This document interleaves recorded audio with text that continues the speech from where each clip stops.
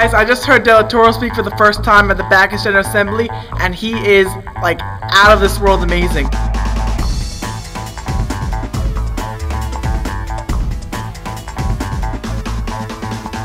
His teaching about leadership was excellent. My name is Sarah Gale, but on the weekends I go by Sergeant Bala. We all want to learn about leadership, right? And we want to motivate our soldiers in how to be the best leaders. Delatorro can come to your unit, can come to your station, and let you know how to be a good leader. He'll make it fun and he'll make it awesome, which is something we all look for. So make sure you book Delatorro today. He has these spot on techniques that will get them on the right track before it's too late. Hello everyone, I am Tiffany Warrior from Deep Fort Valley State University.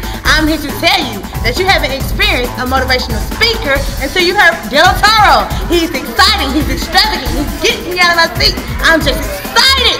So, like I said, if you want to become a great leader, you ain't did it yet until you hear Delatorro. Go Delatorro!